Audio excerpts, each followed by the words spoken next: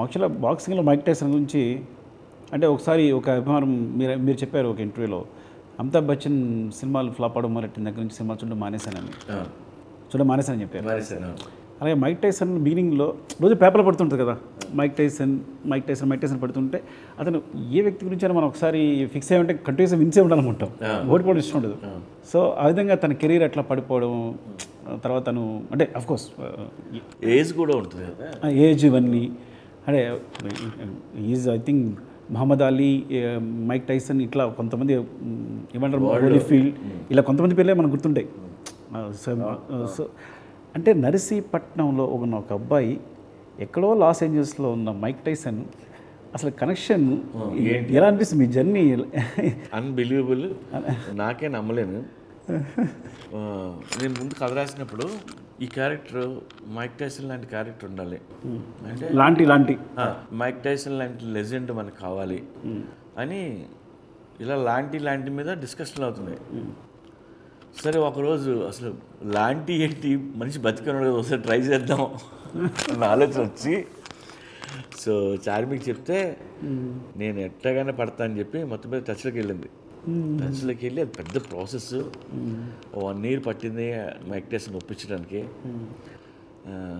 ఫైనల్గా Mike Tyson మేము అందరం దిగి షూటింగ్ అది వచ్చి మాతో కూర్చున్న ఒక గంట వరకు మా మీద నమ్మ నమ్మకం లేదు. అంటే మైక్ టైసన్ వచ్చాడా?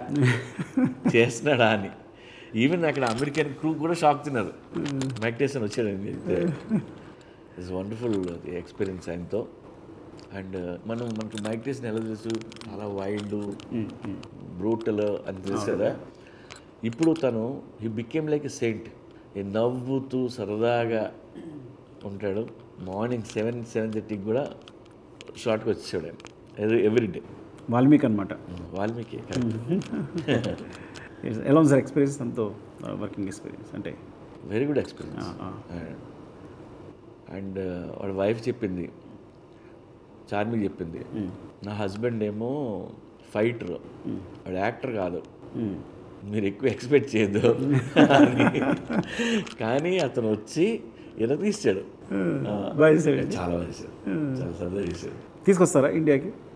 ఇండియాకి యాక్చువల్గా ఫస్ట్ ఆయన వస్తాన్నారు ఇప్పుడు ఇంత రిలీజ్ పెట్టుకొని ఇన్ని టెన్షన్లు మనం పెట్టుకొని మైక్ టైసన్ కానీ తీసుకొస్తే పెద్ద ప్రోటోకాల్ చాలా కష్ట- మనం- అన్ని పనులు మానేసి మైక్ మీద కాన్సన్ట్రేట్ చేయాలి. ఆయన కానీ వచ్చి తీసి పంపి- పంపించేంత వరకు. థర్డ్ వీక్ తీసుకురండి. అది టూ వీక్స్ అయిపోయిన తర్వాత. లేదంటే లాస్ వేగస్ వెళ్ళి ఆయనకు షో చేద్దాం ఓ, అక్క అదేనా? అక్కడ తెలుగు వాళ్ళు పిలుద్దామని. ఓ. అది కూడా ఉన్నది ఐడియా.